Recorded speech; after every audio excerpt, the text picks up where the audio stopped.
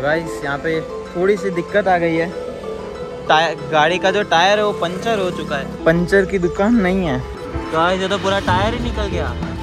वहाँ पे ऊपर पंचर बनवा के हम लोग ने धीमे धीमे ऐसा धीरे धीरे आ रहे थे सोचा सिटी में जाके नया टायर ही डलवा देंगे।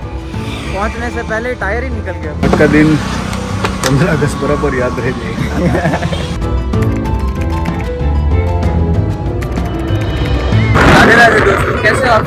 खुद से सभी बढ़िया होंगे। वेलकम टू लाइफ मैं और मेरे पापा।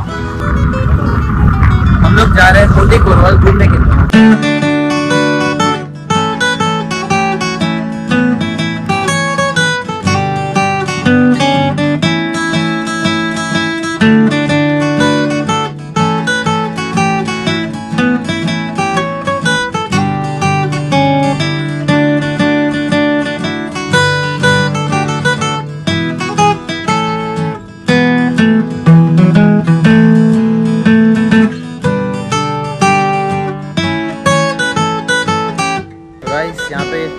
सी दिक्कत आ गई है। टायर गाड़ी का जो टायर है, वो पंचर हो चुका है। ये जो है, पंचर हो चुका है। तो हम लोग अब यहाँ से चढ़ा भी नहीं सकते, उतार भी नहीं सकते, क्या करें? क्योंकि ऊपर कोई भी पंचर की दुकान नहीं है। तो बीच में फंस चुके हैं। देख रहे, पापा बोल रहे कि लिफ्ट ले लेते हैं और वापस चलते हैं, क्योंकि कोई मतलब नहीं है ऊपर जाके, क्योंकि कोई दुकान ही नहीं है तो। भाई साहब चलते चलते जाना पड़ रहा है, क्योंकि बहुत ज़्यादा टायर स्लिप कर रहा है। इतनी बढ़िया जगह है। लेफ़्ट राइट करवा वैसे यहाँ पे एक चीज़ बहुत अच्छी है। सभी जगह पे बहुत ही ग्रीनरी ग्रीनरी है। तो मतलब ऐसे फ्रेश फील हो रहा है एकदम। फाइनली गाइस एक दुकान मिली है। हालत ख़राब हो गई। इस जगह पे पंचर की दुकान क्यों नहीं है? होनी चाहिए यार। भाई साहब बहुत दौड़ा A few hours later. Guys ये तो पूरा टायर ही निकल गया। पूरा निकल गया। अब? जैसे तैसे आधे तक आए थे यार। वहाँ पे ऊपर पंचर बनवा के हम लोग ने धीमे धीमे ऐसा धीरे धीरे आ रहे थे सोचा सिटी में जाके नया टायर ही डलवा देंगे। पहुँचने से पहले टायर ही निकल गया पूरा पूरा। अब लगता नहीं पापा गाड़ी अपने घर पे वापस जाएगी। अब तो कंटाल गए। साहब।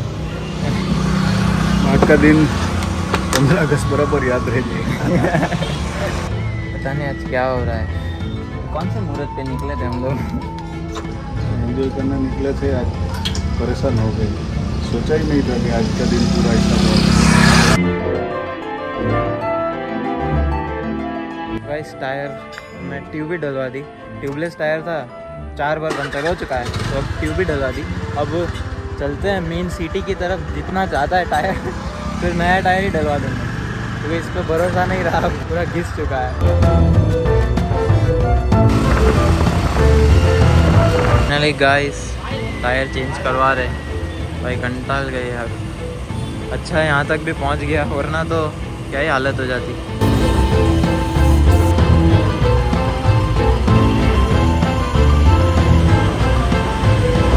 टायर चेंज हो चुका है। अब जल्दी से चलते हैं घर पे क्योंकि अब कंटाल गए हैं। बहुत अभी एक बज रहा है, कुछ खाया भी नहीं है। शायद पहले खाने जाएँगे, उसके बाद गए, बाद में घर पे। गाइस खमन भजिया थोड़ी नाश्ता करते हैं, फिर चलते हैं। तो गाइस हम लोग घर पे आगे सो गए थे और आज पूरे दिन बहुत ज़्यादा थक गए। व्लॉग को एंड करने का टाइम आ गया, क्योंकि अब कुछ है ही नहीं करने के लिए। तो मिलते हैं अगले वीडियो में. So don't forget to like share subscribe and comment है जैसे हर बार बोलता हूँ. थोड़ा थोड़ा करके ज़्यादा सपोर्ट कर दो तो कुछ कर दो. चलो बाय और राधे राधे